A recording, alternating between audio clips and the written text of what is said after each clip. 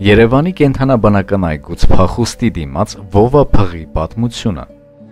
Վովան Երևանի կենթանաբանական այգու փիղն էր, որը հայտնի է դարձել իր փախուստով, որը տեղի է ունեցել 1970 թվականի հունիսի 28-ին։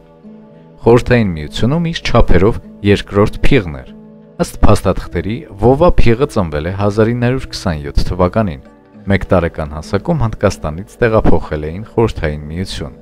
Սկզբում ապաստանել էր Ռուսաստանի, ապա Ուկրաինայի կենթանաբանական այգիներում։ Վովան վարժեցնող Իվան Նիկոնի Շերբանի ղեկավարությամբ մասնակցում էր կենթանաբանական այգուն կից կազմակերպվող կրկեսային ներկայացումներին։ Երկրորդ համաշխարհային պատերազմի սկզբին կենթանաբանական այգին տարհանում են։ Տրանսպորտի բացակայության պատճառով վարժեցնողն ու փիղը ոդկով ճանապարհ են ընկնում եւ 1941 թվականի աշնանը հասնում են Երևան։ Հեզ վարքի տեր կենթանին կարճ ժամանակում դառնում է նոր կառուցվող կենթանաբանական այգու աշխատակիցների եւ երեխաների սիրելին։ Փիղը օգնում էր բանվորներին շինանյութ տեղափոխել, մեջքին նստեցրած մաներացում երեխաներին։ Պատերազմի տարիներին փիղը օգնում հերում էր Միասնիկյան պողոտայի զառիթափին կանգնած մեքենաները։ Փախուստի նախադրյալներ Կենթանաբանական այգու բացումից առաջ փիղը համարյա ազատ էր, բայց 1945 թվականից հետո նրան փակեցին բանդակում։ Հետագա 30 տարիների ընթացքում ոչ փղարանի չափերը, ոչ էլ կենթանու սնունդը չէին ավելացել։ Կենթանին մեկ անգամ ջարդելով պատը դուրս էր եկել ու բարձրացել կողքի բլուրը արածելու։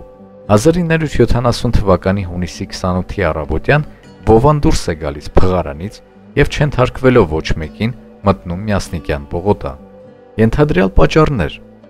Հասկանալով, որ կենթանին սննդի կարիք ունի, որը չեն կարողանում ապահովել, պատը չէին փակել, եւ նա ժամանակ առ ժամանակ դուրս էր գալիս սնվելու։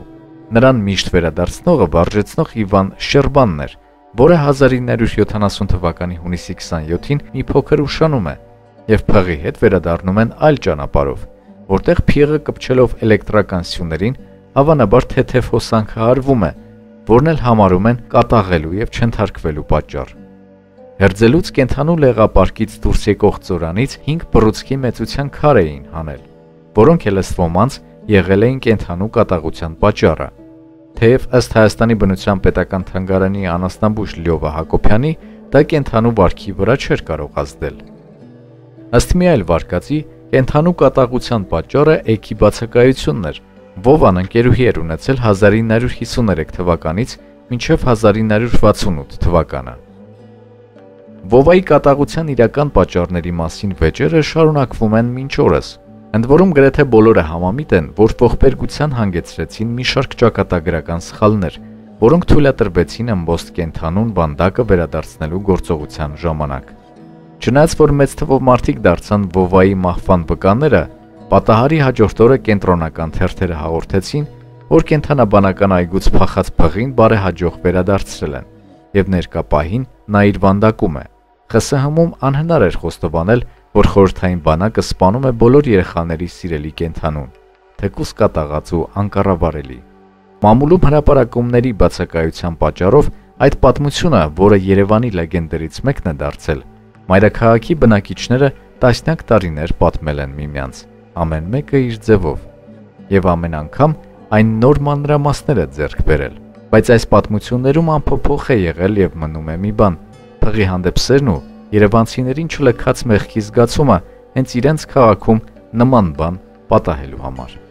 Օգտվում է Երևան ամսագրից։ Ամբողջական տեքստային տարբերակը հնարավոր չէր մեկ հոլովակի մեջ ներկայացնել, եթե ցանկանում եք կարդալ ինչպես ստացվեց շարունակությունը, ինչպես ցավոք սրտի վնասազերծեցին, սպանեցին խեղճ փղին, կարող եք սեղմել հղման վրա եւ կարդալ տեքստային տարբերակը։